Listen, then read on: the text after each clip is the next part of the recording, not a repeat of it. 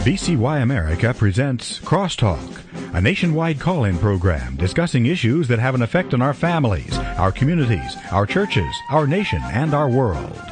Crosstalk, an opportunity for you to voice your concerns for biblical principles. And now live by satellite and around the world on the internet at vcyamerica.org. Here is today's Crosstalk.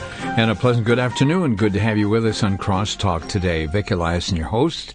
And uh, behind the glass there, my good friend Matthew Middlebrook, taking the calls and uh, handling all of the details behind the glass. Well, we have a number of items. This being Friday, we always try to clear off the desk with all of the interesting news stories that accumulate. Some of them are very short, some of them are long, some of them are rather trivial, some of them are very important.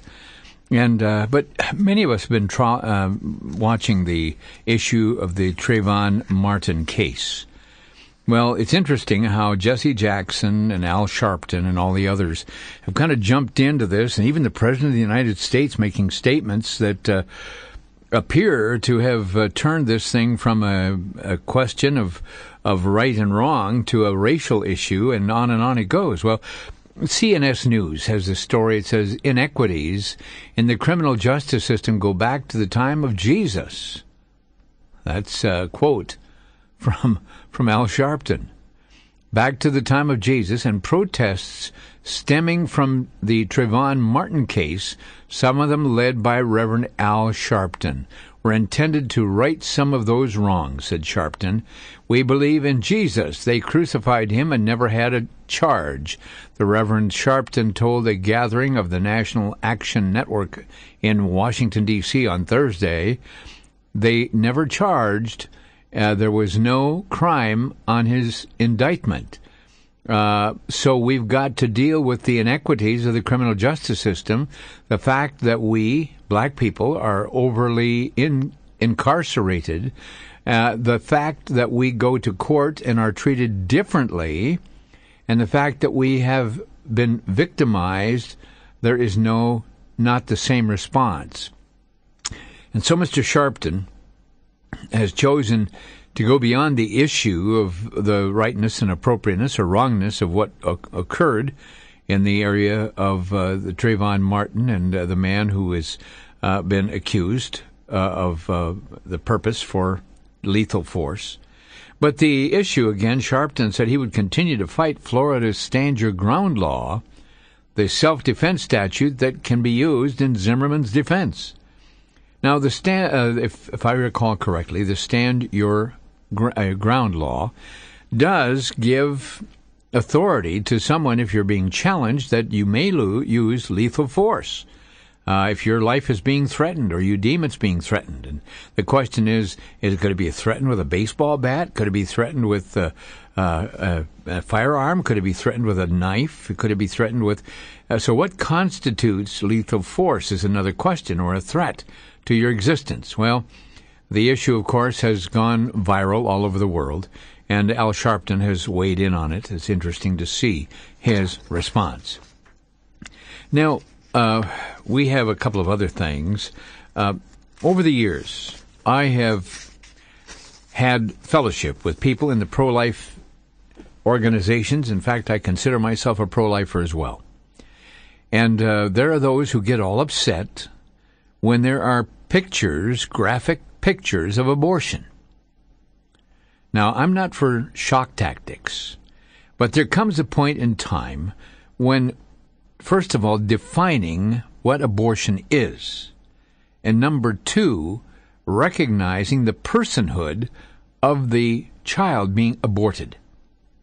Now, there have been many that scream bloody murder every time they see one of these sign trucks go by with, with a pro life message defending the preborn and a picture of the results of abortion. Some say, oh, it's so shocking, it's so terrible. Well, put a name on it, put a face on it. We as a nation ought to be ashamed up to our eyeballs for the, the, the issue that has gone on, right up to our nose, right up to our ears. We ought to be ashamed because of allowing millions of little babies to be killed on the altar of the abortuaries. Now, WorldNet Daily reports this. Court protects graphic abortion images. The state Supreme Court in Wyoming has issued a ruling protecting the graphic abortion violence pictures and images that pro life protesters use to shock people into a debate on the procedures used to kill the unborn in America. The ruling came today, that meaning uh, that was 13, well, let's see, how many hours ago? Well, at this point, uh, regardless of the time, the issue came through in a conflict between Operation Save America and the town of Jackson, which went to court without notifying the OSA, obtained an order that the pro life organization could not exercise uh, members' First Amendment rights in parts of Jackson last year. A large part of the town's concern was the large photographs of disfigured and aborted fetus images. And according to a report from Jackson Police Lieutenant Robert Gilliam, or Gilliam rather, the group has consistently demonstrated throughout the town of Jackson showing the same graphic photographs. The group has refused repeated requests from me, says the police officer, and other law enforcement officials to remove these graphic photographs. This came after police received several hundred phone calls, emails, personal visits, and face to face complaints from citizens who see the photographs as obscene and offensive. The city's ultimate, uh, the city's ultimately obtained a uh, ex parte hearing where a judge issued a temporary restraining order silencing the pro life message without notifying OSA. The ex parte order resulted in Reverend Chet Gallagher and Pastor Mark Holick, two of the protesters, ultimately being arrested for violating the order. The organization, whose members hail from a number of states, dispatched protesters to Jackson on May 2011 to raise awareness to the abortion clinic run by Mr. Brent Blue. Town officials were alarmed that Boy Scouts attending their 2011 annual Elk Fest in the same town at the same time might see the images. But the state Supreme Court found that just as speech on issues of public concern is protected, so are those images. We find that the ex parte temporary restraining order was issued in violation of the First Amendment to the United States Constitution and Rule 65 of the Wyoming Rules of Civil Procedure, the opinion said. The opinion explained that the First Amendment does not protect everything, Fraud, defamation, obscenity, and fighting words are not protected, for example. But it added speech on public issues or matters of public concern are classic forms of speech that lie at the heart of the First Amendment. Speech directed at abortion policy is public issue speech. Did I hear an amen? Somewhere out there. Good move on the court. That's my opinion. Well, let's move further. Talking about uh, the issue of Planned Parenthood, and uh, uh, or says someone once called it Planned Baronhood. Uh, Planned Parenthood sues to stop Texas from enforcing law. Now, this is interesting. It's posted by Carla Dial, and uh, here it is. Planned Parenthood filed a federal lawsuit against Texas today seeking to block it from enforcing a new law that bans tax, uh, taxpayer funds from going to groups that perform abortions or their affiliates. According to the suit, if the law is enforced, it could deprive tens of thousands of low income women seeking family planning and other preventive health services. My comment here, considering all of the illegitimate births I'm not too sure how much planning is going on at Planned Parenthood. State, state legislators passed the law in 2011 session seeking to comply, uh, uh, completely oust the abortion seller from the state Medicare program. Despite threats from the Obama administration, the state implemented the law in February. The Obama administration made good on its threat in March, shutting off the spigot of federal Medicaid funds to the Texas program. That block of $30 million makes up 90% of the state Medicaid budget.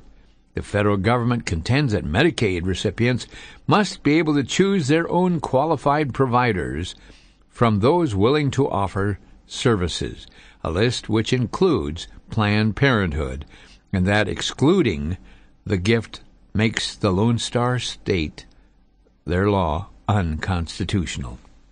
Well, Texas Attorney General Greg Abbott, however, has not been cowed. He's leading the charge for the state, filing a countersuit against the Obama administration last month for cutting off federal funding over the issue. Federal law gives the state the right and the responsibility to establish criteria for Medicaid providers, so we're on firm legal ground, the members of the Texas Department of Health and Human Services wrote in a statement. We'll continue to work with the Attorney General's office to fully enforce state law and continue federal funding for the Women's Health Program. Well, interestingly enough, you're seeing the battle continue, and Planned Parenthood is continuing its, in my opinion, if you put it this way, assassination plan and program for unborn children. Now, from lifenews.com, Time magazine, would you believe, is considering honoring Planned Parenthood president. Time magazine is once again out with its voting process to establish another list of the top 100 most influential people in America, in American politics and public life. As uh, last year, Cecile Richards clocked in at the 69th most influential spot. She had been at a higher position, but a small campaign on Twitter led by some pro life advocates like Bryan Kemper of Stand True helped lower her ranking as pro life people were pursuant to the visit and visit the Time website to declare the abortion mogul not influential. Well, this year, Life News is leading a campaign to prevent Richards from making the list. Before the campaign, which Life News started on Twitter and Facebook, a majority of voters responded to Planned Parenthood's call to vote for Richards to make the top 100. Now 63.68% of the voting people have said no way when asked if the head of the nation's biggest pro abortion business should be included. Well, interesting. People are responding. People are saying things. And uh, very interesting indeed.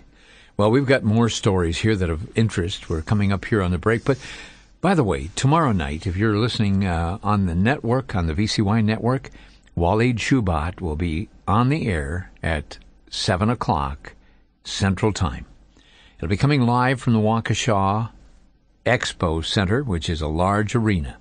And we anticipate a full crowd there. We'll be broadcasting live and direct and invite people to listen who may be a part of the network, but also, if you aren't, this man who was once a terrorist and is now a follower of Christ.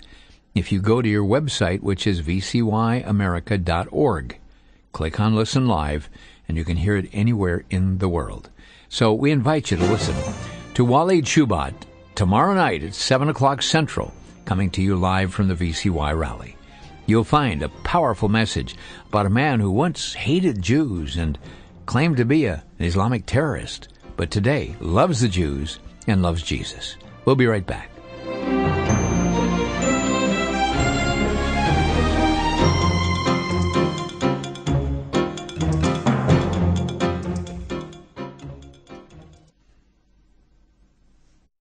Back to Genesis with Dr. John Morris creation seminar speaker at the Institute for Creation Research.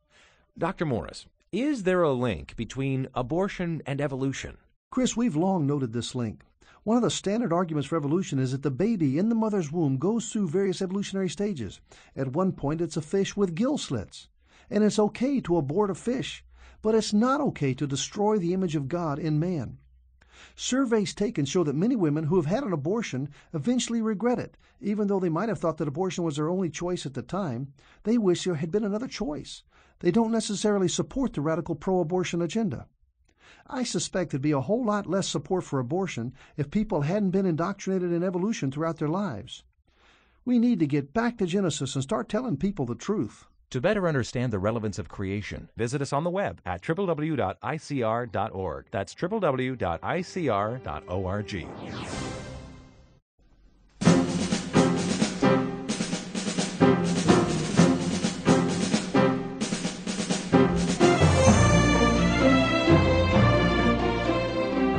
And welcome back to Crosstalk. Uh, we've got some interesting stories here. This is the end of the week.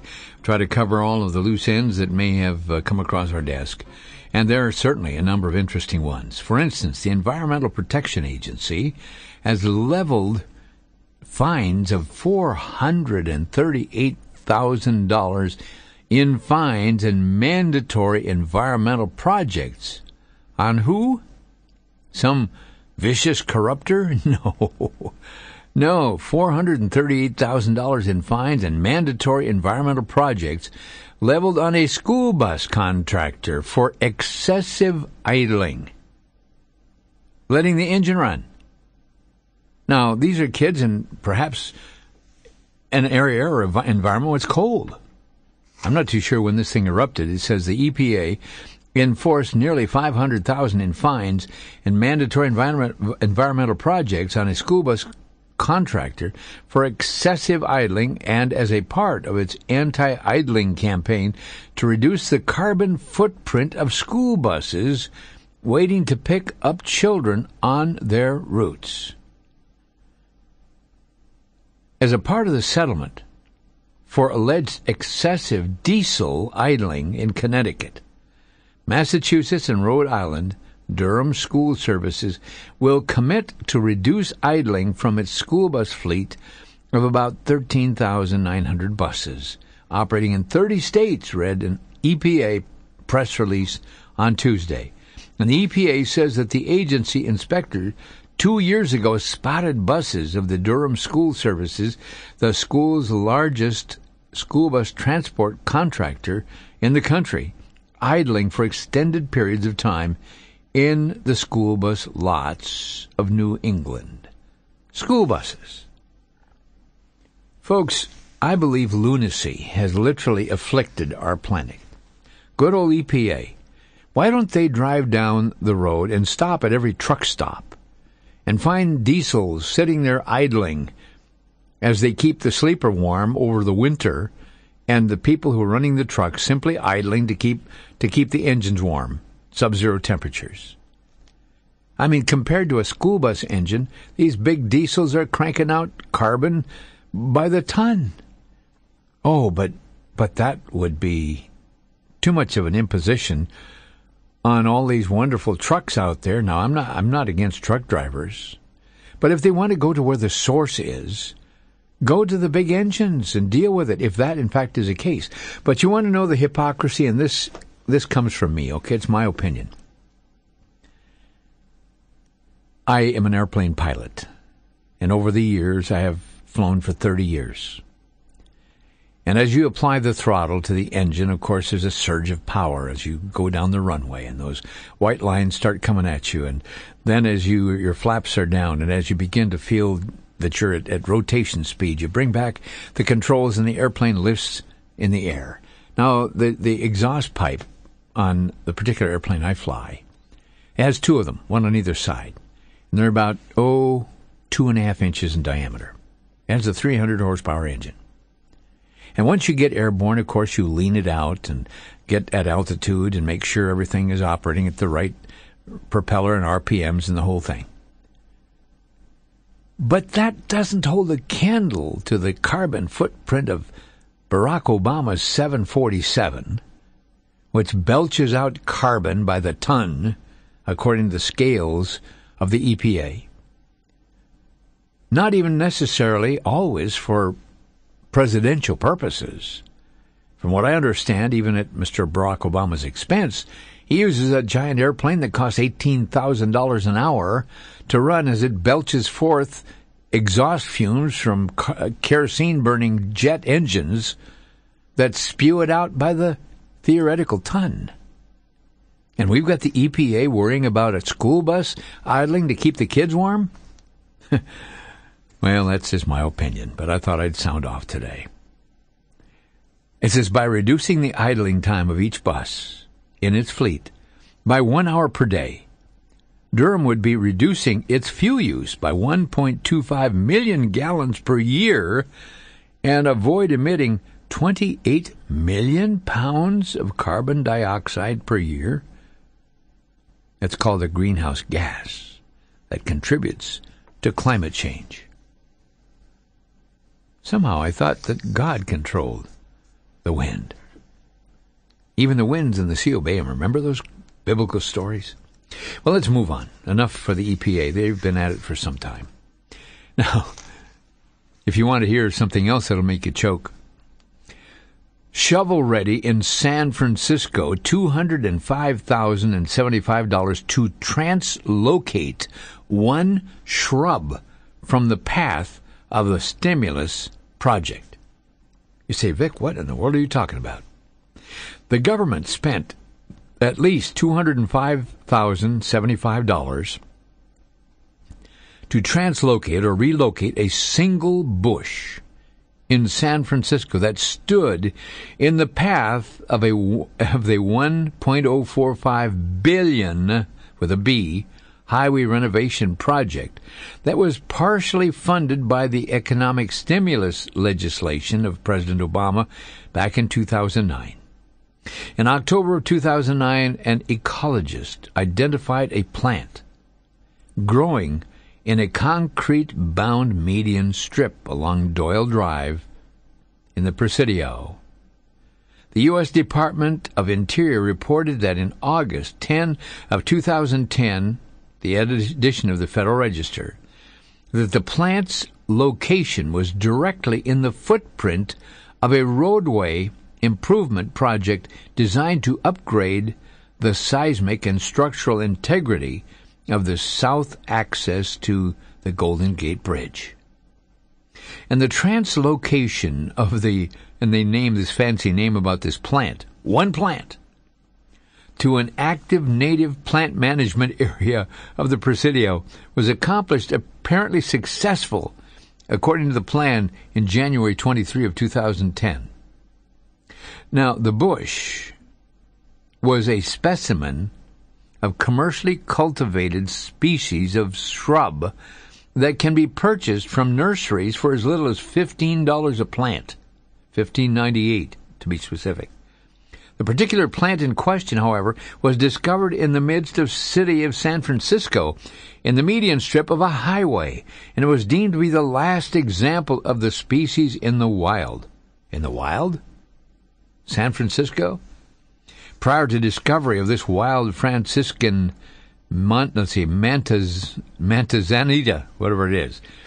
The plant had been considered extinct for as long as 62 years. Extinct, that is, outside of people's yards and botanical gardens. Before that, the bush had grown in the wild, in two cemeteries in San Francisco's Richmond district, as well as on Mount Davidson, a peak in the middle of San Francisco. The Department of Interior said that there had been also unconfirmed sightings of the shrub in the city's Haight Ashbury district, an area that became famous in the 60s as a centerpiece of the psychedelic hippie movement. But there you have it, folks. We have people willing to, to dig up one plant and transplant it somewhere else. $205,075 to move one shrub from the pathway of the freeway. Folks, the Bible talks about those who sought to be wise became fools. Because you take the source of wisdom and understanding, our very God, who has promised wisdom if we ask for it. Some of these people I don't think even know that God exists, much less someone that could give them wisdom and understanding. Life News reports almost 900 New Zealand women hospitalized for botched abortions. Our friends in New Zealand today, I know they're listening. Almost 900 New Zealand women hospitalized for botched abortions. A total of 877 women were admitted to the hospital in New Zealand between 2009 and 11 for the treatment of complications following abortions. The total number of bedside, or I should say bed days, total 1,047. These important statistics reveal that the abortions not only kill an unborn child, but can result in damage to a woman's health. New Zealand, we're praying for you. We would uh, look forward to a phone call. Okay, a couple more things. Interestingly, our president, Mr. Obama, raised money, according to WorldNet Daily's article. He did speeches for Palestinian refugees called Code for Israel's Destruction. Mr. Obama raised money for Islamic causes. Now, this is written by Aaron Klein. He's the senior staff reporter and Jerusalem bureau chief of WorldNet Daily. He also hosts Aaron Klein Investigative Radio on New York's WABC Radio. He is his latest book in the New York Times best-selling list, The Manchurian President, Barack Obama's ties to communists and socialists and other anti-American extremists. But here it is, Jerusalem. Back in, in the 1990s, Barack Obama spoke at a fundraiser for the Palestinians living in what the United Nations terms refugee camps, as WorldNet Daily was the first to report. Palestinians have long demanded the right of return for millions of refugees, a formula Israeli officials across political spectrum warn is the code for Israel's destruction by flooding the Jewish state with millions of Muslim Arabs, thereby changing its demographics.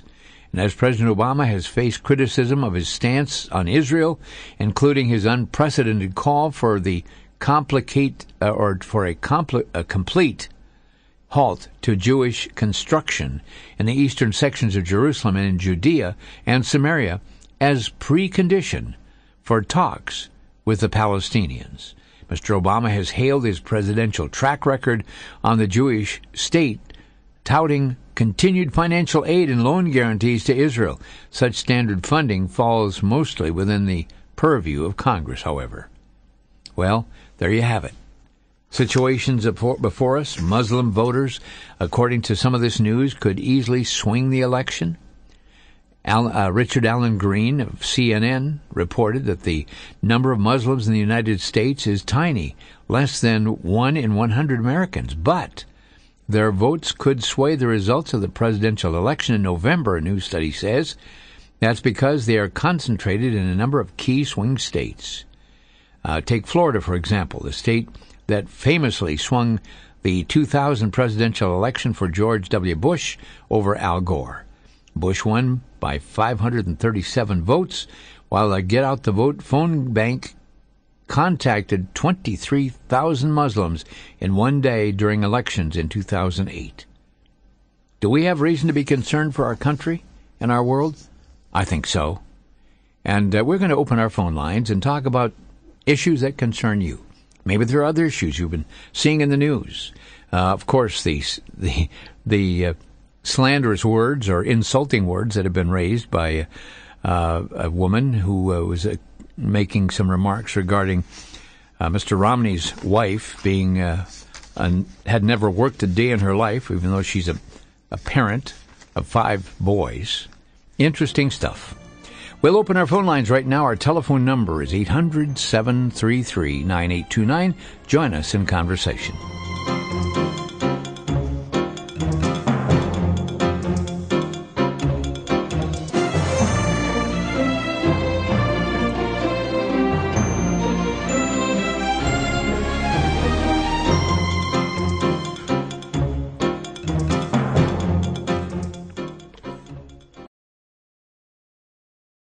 Many churches are abandoning the old hymns of the faith. Yet these very hymns are a rich treasure trove of biblical truth, and unless we pass them on to the next generation, they will be lost. In the book, Then Sings My Soul, Volume 3, author Robert Morgan provides more than 50 devotional style stories about hymns through the ages. You'll learn the stories and backgrounds to the hymns that have blessed us, including It Is Well With My Soul, In Times Like These, How Great Thou Art, The Old Rugged Cross, and many more. The book also includes the music for each of the hymns, spanning over many decades. It's ideal for family devotions and for personal enrichment.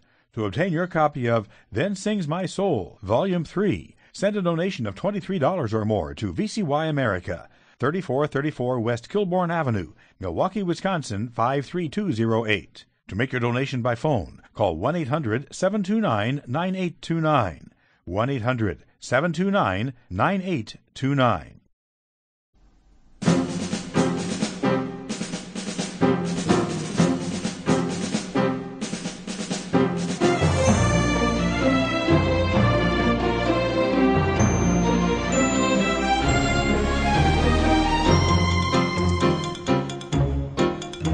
And welcome back to Crosstalk, where we're taking your calls on these and many other issues that have occurred this past week. Many of you follow the news in your local areas, your regional areas, and uh, we want to give you an opportunity to address them. Let's go right now to Ringgold, Georgia, and talk with Doug. And Doug, you're on the air. Okay, I'm gonna make a comment about those diesels. The same, oh man, the same diesel that's in those school buses at the Bluebird school buses are in the Dodge pickup trucks, the very same ones. Yep. Hey, I, I I've got about four hundred thousand miles under my belt driving driving a PD forty one oh four. If you know what those are. No, no, I don't. That's an old Greyhound. oh, and we used to put number two in those, and uh, Yeah, that, oh, that yeah. stuff was wretched. uh huh. But but that's strange. They're the same diesel. Next thing, and, and God knows up there north they shut them things down. There, what is twenty below? They never get them started again. That's right. Okay, my man. Take care. God bless you. Thanks for calling, Doug.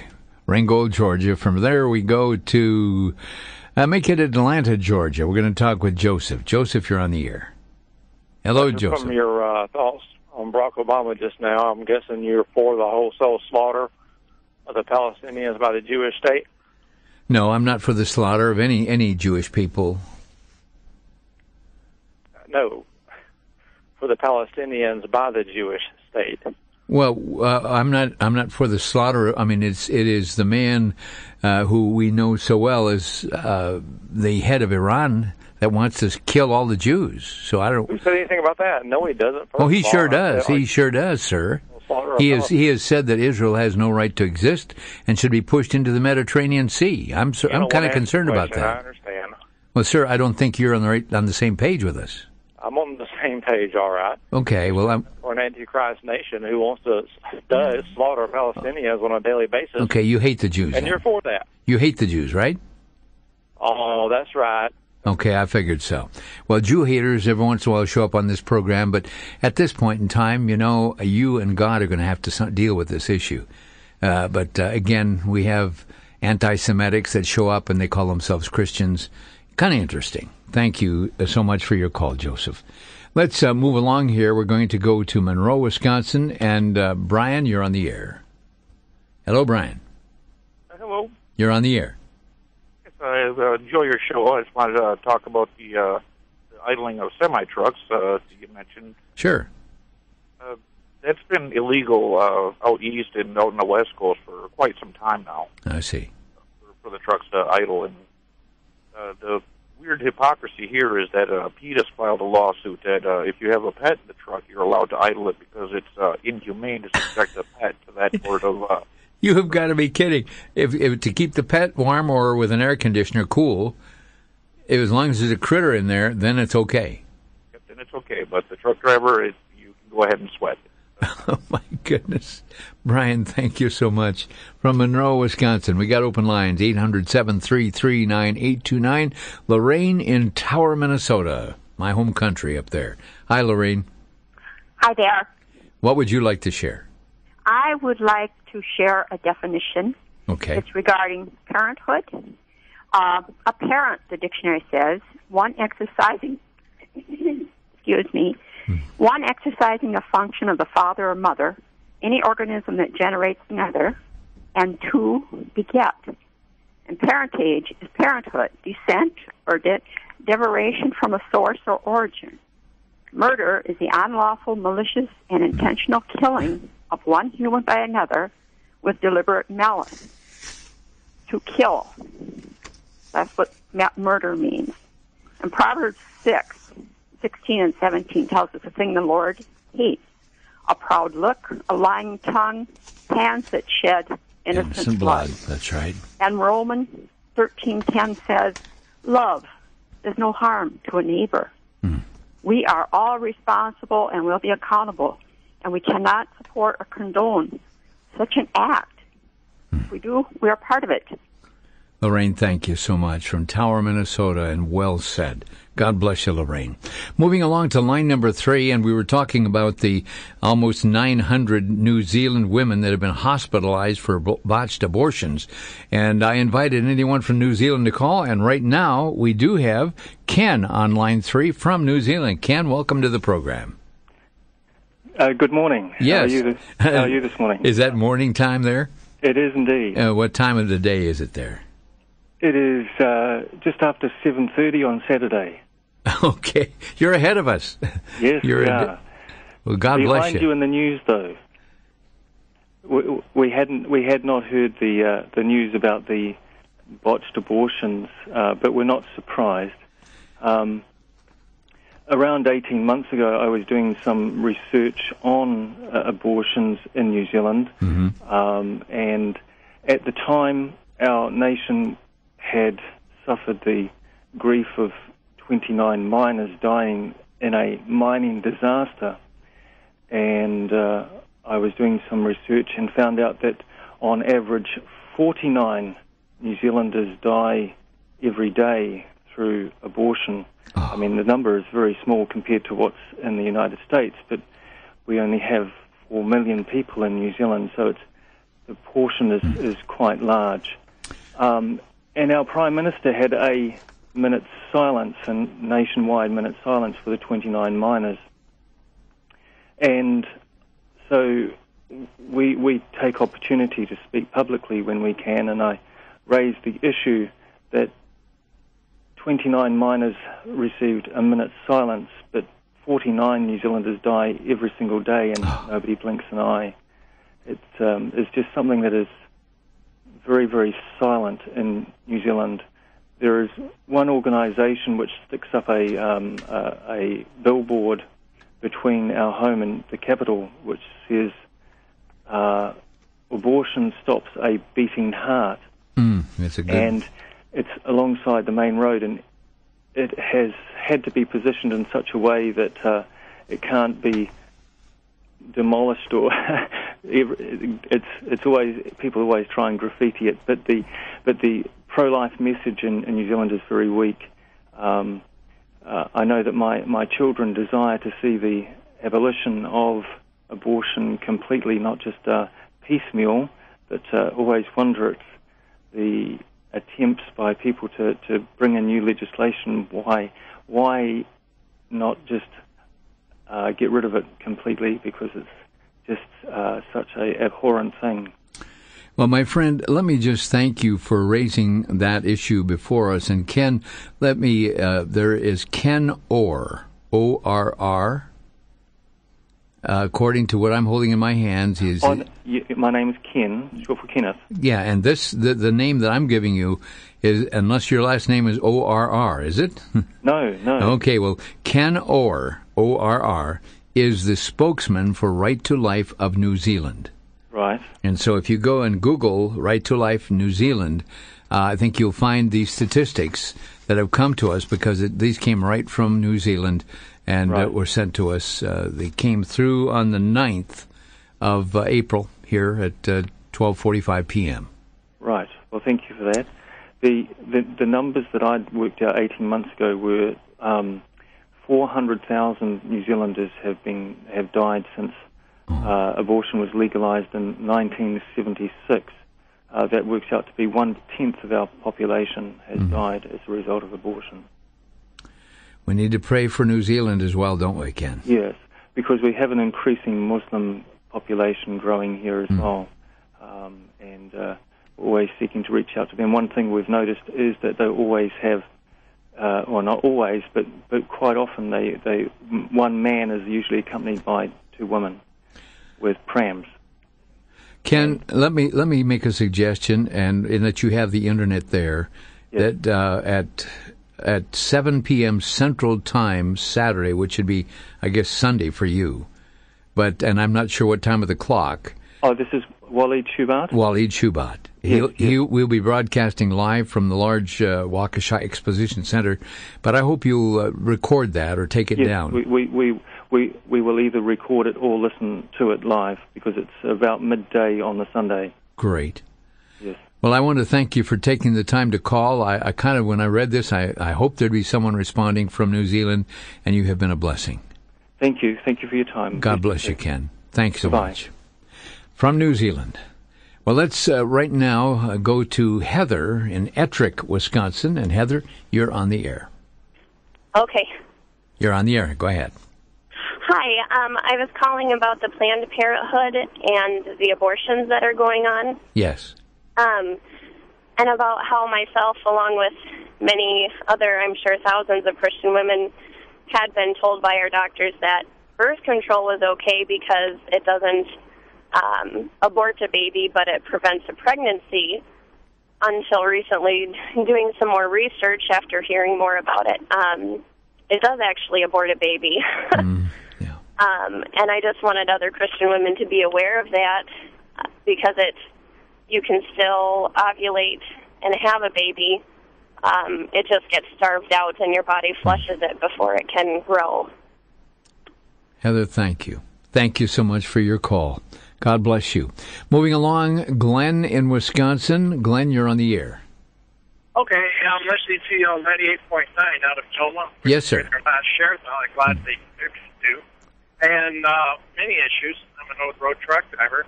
Uh, concerning abortion, I never use the word abortion.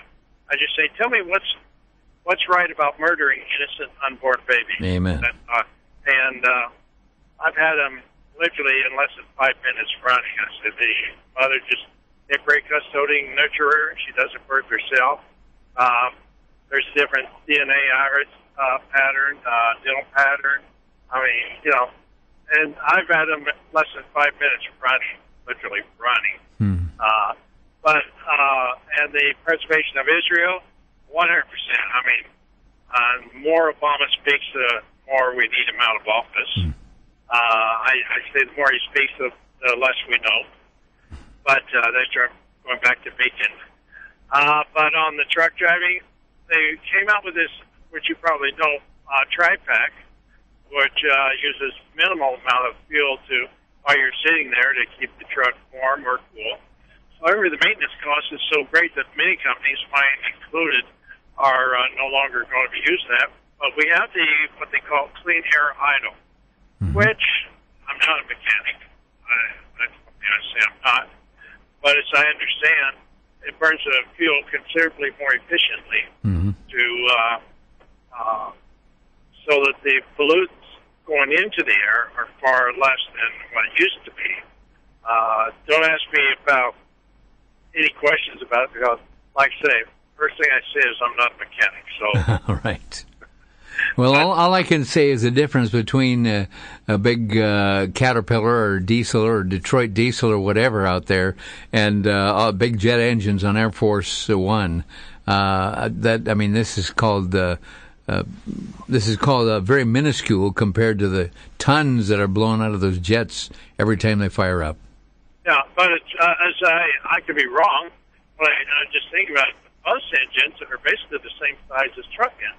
They, they're inside the trucks. I, they're, I think they are pretty much of the same size there. Well, Glenn, I want to thank you for calling. We're up against a hard break. God bless you. Thanks for calling up so much. We're going to be right back with more calls. 800 733 9829.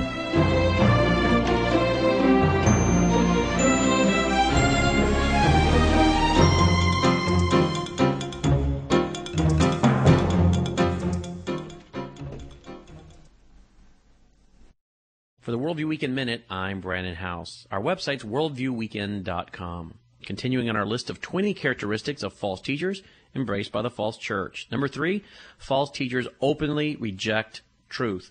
2 Timothy 4 4 says, And they will turn their ears away from the truth and be turned aside to fables. Isn't it interesting that the Bible tells us that many of the false teachers and those that follow them deliberately turn their ear away from hearing the truth? I think this goes right along with 2 Thessalonians 2, 9 through 11, where we read during the tribulation, God will give them over to this powerful delusion, so they will believe the lie. Why is God going to do this? Because it says in 2 Thessalonians 2, 9 through 11, they refuse to love the truth and be saved. In other words, they've turned their ear away from truth. So false teachers openly reject truth. I'm Brandon House for the Worldview Weekend Minute. You can visit our website at worldviewweekend.com.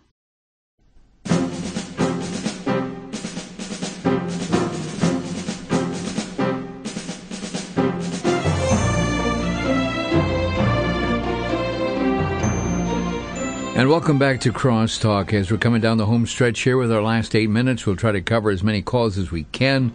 Again, uh, some of you hearing about the thousands of dollars, hundreds of thousands of dollars to move one little bush. Uh, I, I, tell you, I, I really, and again, I say it too often, but the inmates have taken over the asylum. That's it. Okay, we're going to go right now to Pace, Florida. Uh, and then uh, we are, let's see, yes, Gloria in Pace, Florida. Gloria, you're on the air.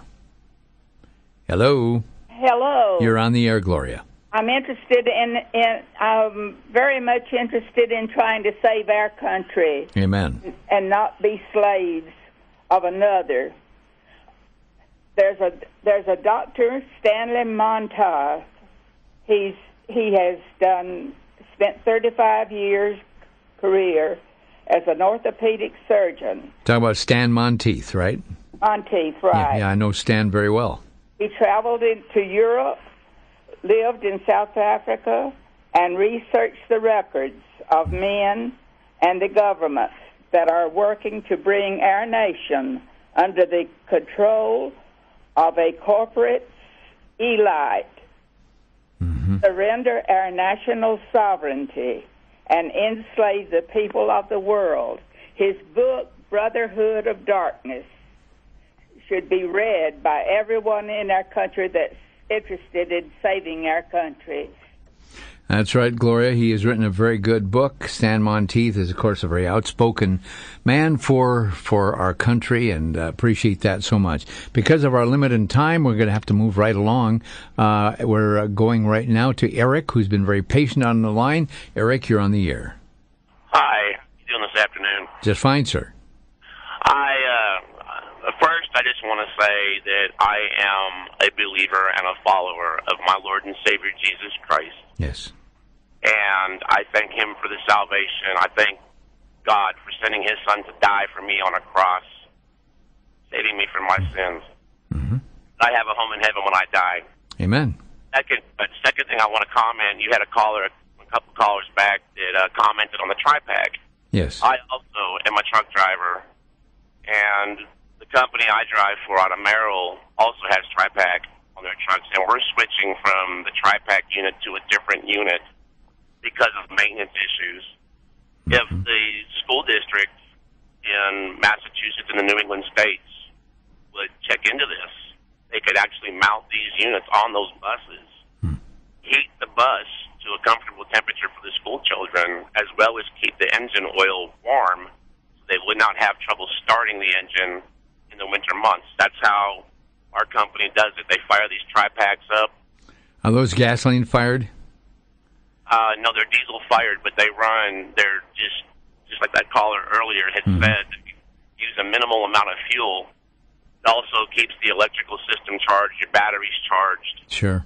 I use it to keep the truck cool in the summer, warm in the winter. I've got a TV and phone and refrigerator in the truck. So while the truck's off, the TriPac runs, and it keeps the electrical system charged, um, and it keeps the truck warm so when I get in it in the middle of January and it's 15 degrees, it's warm and ready to go. Well, you know the the thing on that, Eric, is that the uh, here they are trying to to uh, file. I mean, this is absolutely unbelievable. Fines of four hundred and thirty-eight thousand uh, dollars because, and yet no qualms about firing up the big jet and blowing our sky full of uh, residue there. Thanks so much for the call, Eric. Got to run. Betcha. Bye bye. And we move right along to Fort Scott, Kansas. And Tom, you're on the air.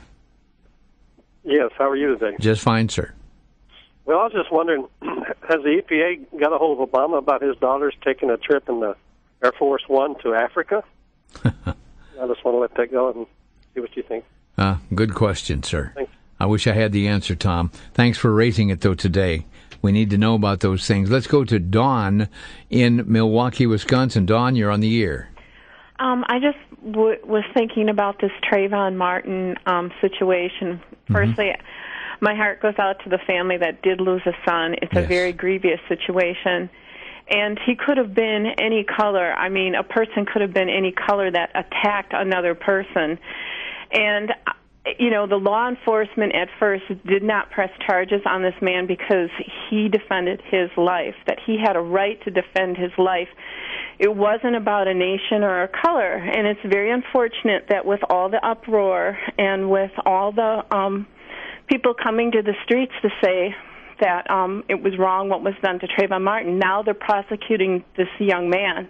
Mm-hmm. Now, I don't think I was, I, when I saw that on the news last night, I was very saddened because at what point does a, a law abiding citizen have the right to protect themselves from people who feel they have a right to be violent. They have a right to rob you, to steal from you, to come into your home and harm you. There's something very wrong with our society when we're starting to say that we don't have a right to protect ourselves and that we turn this into a racial issue because yeah. it isn't a racial issue. It's a very sad situation that any race would have to suffer like this. It wasn't a racial issue. I saw the boy he had a sweet face, but unfortunately, like the mom said on the Today Show, that something went too far. Something went too far. But now, the um, because this has become a national event, suddenly someone is going to be um, brought to court for defending their life, and eventually, are they going to try and take the um, the Second Amendment, our rights to to legally protect ourselves away. Well, you know, Dawn, one of the things that impressed me is that uh, those who are seeking advantage, looking, and I hate to say this, uh, the race card, and there are people uh, that that uh, like Jesse Jackson and others that have jumped onto this thing. Even the president himself saying some things that inflamed the issue even more until any, nobody even knew the story. How do you prosecute or deal with it, even in a court of law, to determine a just evaluation of what happened? What about the threats? What about somebody saying uh, or making actions that would be a threat against you? I want to I, thank you, thank you, Don. We're, we're, we're heading out the door. Could I comment about the NRA? About ten seconds. Um, is this an opportunity for the president to take our gun rights away? You're asking a good question, and only time's going to tell. Don, thanks. Goodbye. Thanks for calling.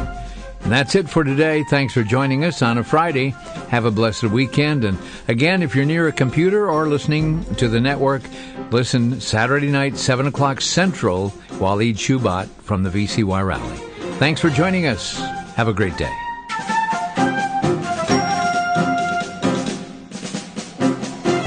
Been listening to Crosstalk via satellite and the internet from VCY America. Views expressed may or may not be those of this station. For a CD of today's program, send a donation of $6 or more to VCY Take Ministry, 3434 West Kilbourn Avenue, Milwaukee, Wisconsin 53208, or download by RSS or podcast from crosstalkamerica.com. And join us again for Cross